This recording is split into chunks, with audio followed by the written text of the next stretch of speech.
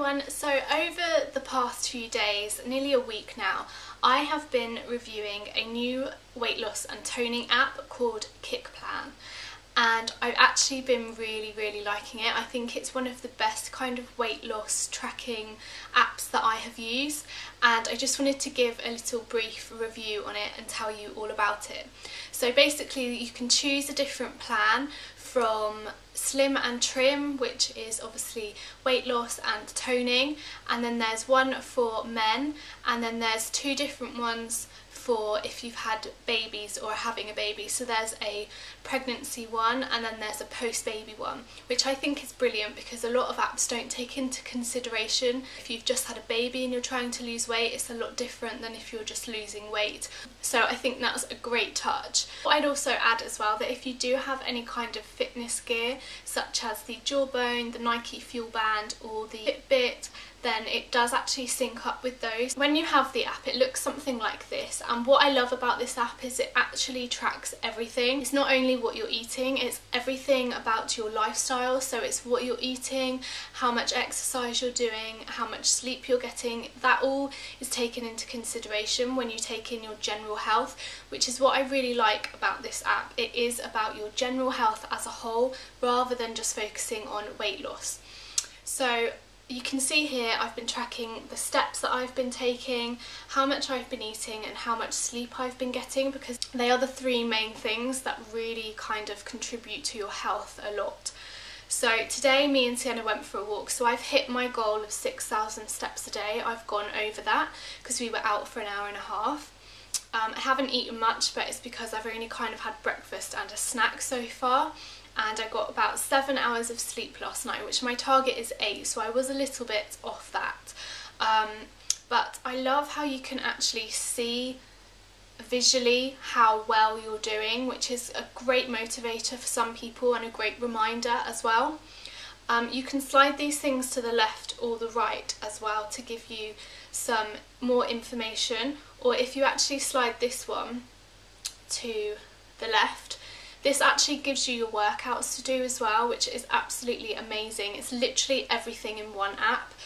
Um, so if I click on to week one, it goes through, um, it includes a warm up and then it includes your five exercises, your core and then your cool down and it's got everything listed here but what I really love about this is when you click start it says are you ready for your workout and you tick yes um, so it, you can select your preferred warm-up so you can either do some walking outside or you can do indoor exercises. I tend to do indoor exercises because I tend to work out when Sienna naps or in the evenings.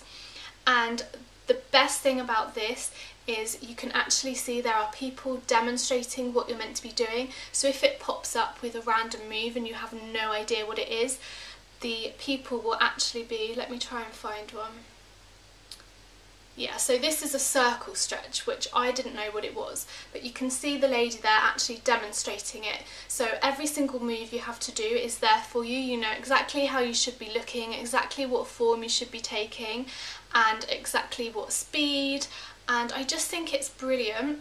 And then you also, on the food bit, you have recipes each week. So this one is overnight very very parfait. It really helps keep the variety. Sometimes when you are trying to eat clean or healthy you get bored of eating the same things so these recipes are great and I love how it actually tells you why they're why you're eating those things. So for example this one uses Greek yogurt so it tells you it is rich in protein which will help keep you fuller for longer because I think education about healthy foods and exercise is definitely what some people need. Um, you know, we need to educate ourselves and then it's easier to stick to. And I also love on the eating one, it also tracks your water intake and it will notify you if you haven't been drinking much water which again I think is great because sometimes we do forget to kind of drink enough water you know get enough steps in it can all get a bit too much sometimes so this kind of and if you slide to the left on the sleep one. It's just little articles and things to read. So this is Think Your Way Thin.